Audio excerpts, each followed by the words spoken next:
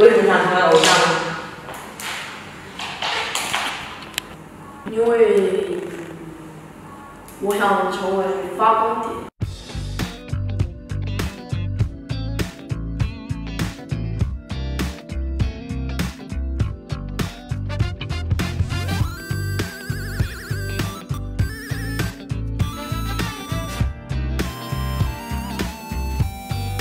刚开始做这行都没有想过走到这儿来，就是觉得可新鲜好玩儿，然后觉得有意思嘛。结果现在呢，就是嗯，站到比较大的舞台了，已经。现在想的东西肯定跟原来不一样嘛。现在想的就是说能够带来更好的作品，然后能够让大家记住你，用作品就是留住别人的心。对我就是这么想的。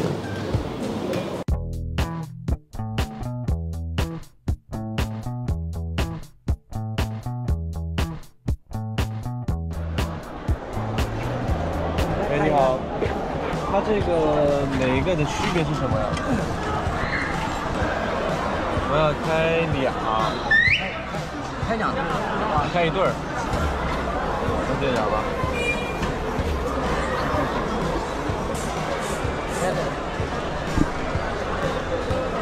文哥，啥感受啊？咋样？就是很新奇的一个，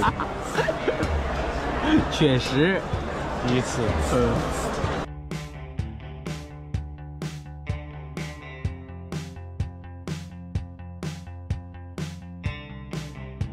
十八岁还没到就开始玩上，都开始玩上核桃了。是，就感觉很好玩，很舒服，感觉。哦，我再去买一个能盘的，你知道吗？可以啊。可能会随身携带吧，之后。长大之后会觉得，其实有时候一个人真的需要安静一会儿。当你安静的时间多了之后，次数多了之后，你会喜欢或者习惯这样的感觉，不是孤独，我觉得是享受。因为我为什么会享受这个事，可能是觉得这个时候是会让我真的会明白，思路清晰，所以我会享受这个时刻。因为一个人的时候，你会很明确自己想要什么。你想达到任务，你比如我今天晚上我在练吉他，我就狂练呗。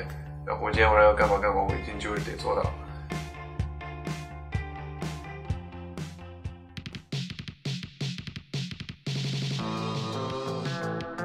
三二一，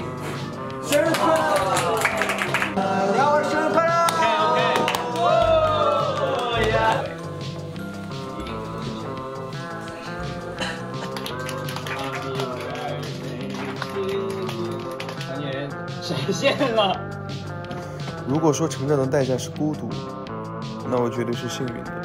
我享受独处，也会毫不犹豫地拥抱爱我的人。我是刘耀文，我准备好迎接我的十八岁了，请和我一起期待吧。